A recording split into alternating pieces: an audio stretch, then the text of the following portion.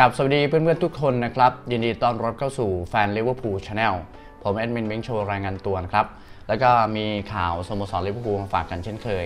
ซึ่งวันนี้จะเป็นข่าวลิเวอร์พูลประจำวันที่ 17 ซึ่งเป็นรอบเย็นนะครับ เราไปเริ่มต้นที่ข่าวแรกกันเลยนะครับ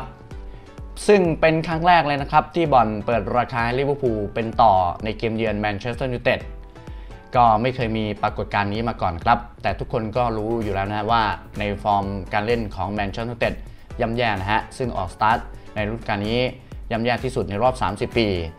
บ่อนรับพนันที่ถูกกฎหมายนะฮะเขาก็ได้ออก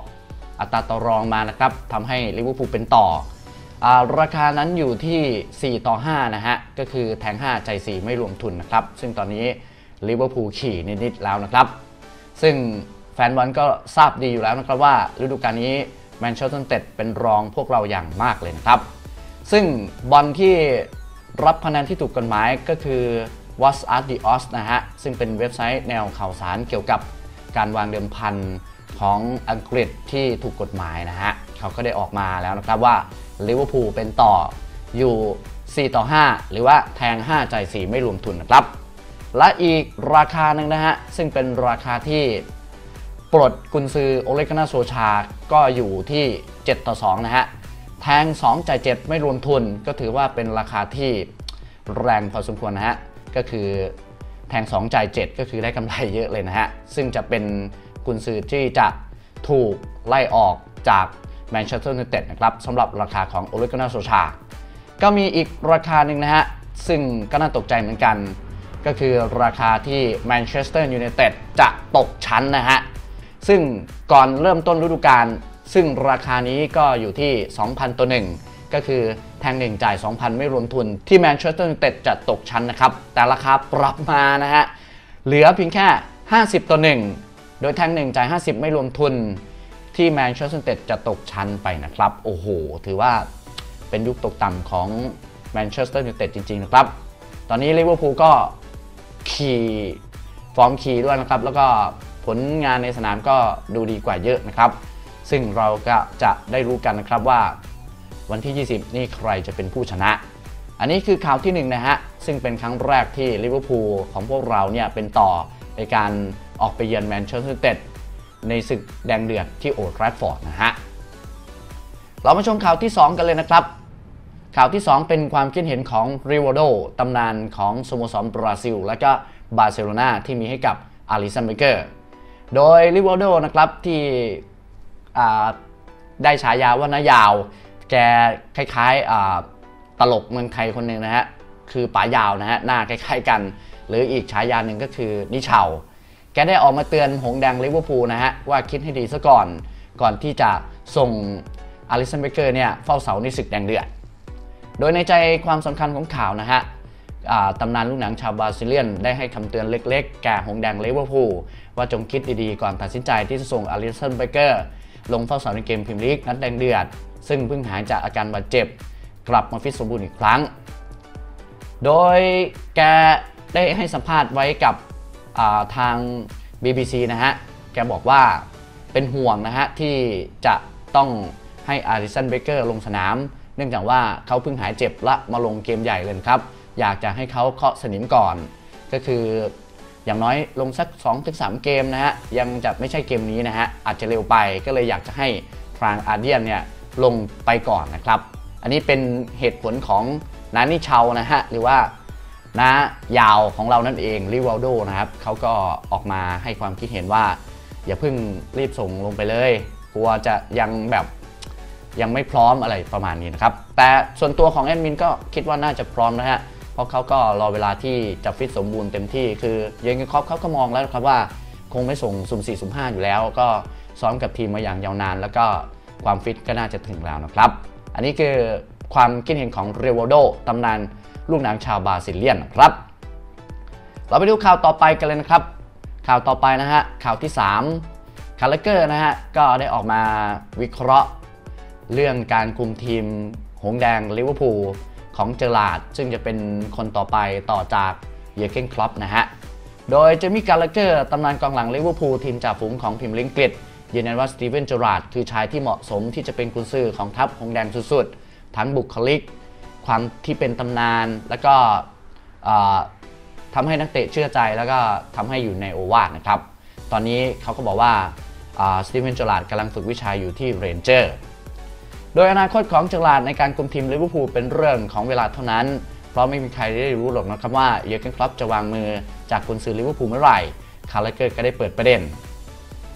แต่สมมุติว่าถ้าเจอร์ราร์ดมาร่วมงานในตอนนี้นะครับเขาก็จะเจอกับช่วงเวลาที่ยากลำบากสุดๆ แน่นอนนะฮะ ฉะนั้นผมจึงอยากให้เขาประสบความสำเร็จกับทีมอื่นๆ ซึ่งเป็นเรื่องเป็นราวซะก่อนก็คือได้แชมป์นะฮะ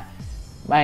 ขอเป็นทีมใหญ่ ไม่ขอเป็นทีมเล็ก ไม่ต้องเป็นทีมใหญ่นะอย่างเช่น พาเรนเจอร์สได้แชมป์สักถ้วยใบหนึ่ง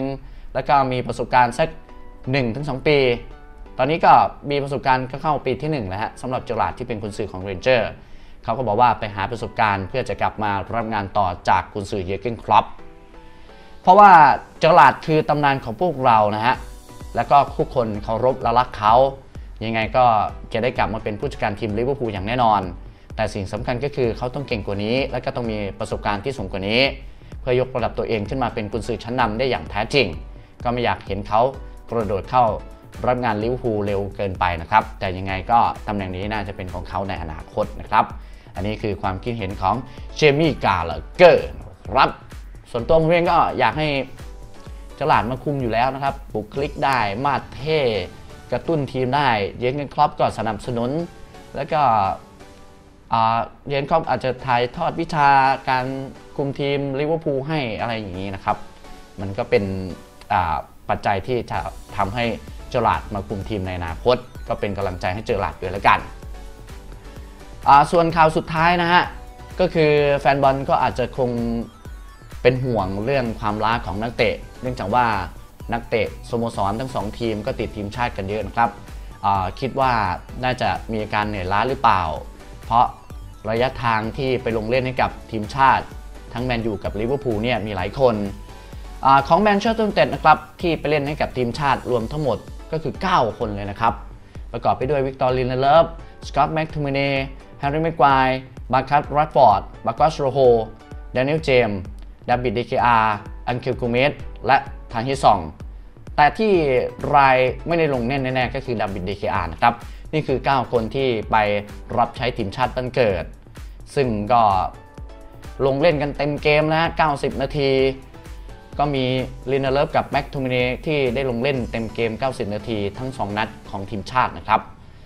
ส่วนทางฝั่งของลิเวอร์พูลนะฮะ ไปรับใช้ทีมชาติทั้งหมด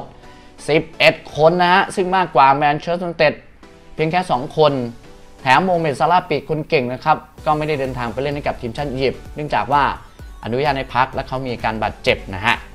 เราไปดูคนที่ ไปเล่นให้กับทีมชาติ 2 นัดเลยนะฮะ ก็มีจอร์แดนเฮนเดอร์สัน จอร์จินิโอไวจ์นัลดุมเวอร์จิลฟานไดจ์คแอนดรูว์โรเบิร์ตสันเดยันลอฟเรน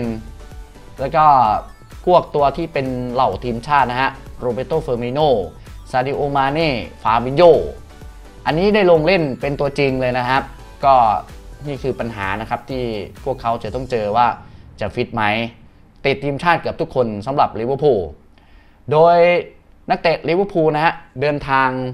รวมกันทั้งหมด 11 คนเนี่ยไปเล่นกับทีมชาติทั้งหมด 66,553ไมล์ ก็คือมากกว่าแมนเชสเตอร์ยูไนเต็ด3เท่าเลยทีเดียวนะครับที่ได้เดินทางไปช่วยรับใช้ทีมชาติ เนื่องจากโรแบร์โตฟีร์มิโนก็เล่นให้กับบราซิลก็ต้องข้ามไปเป็นทวีป ส่วนมาเน่ก็เล่นกับทีมชาติเซเนกัลก็อยู่แล้วนะครับก็เดินทางไป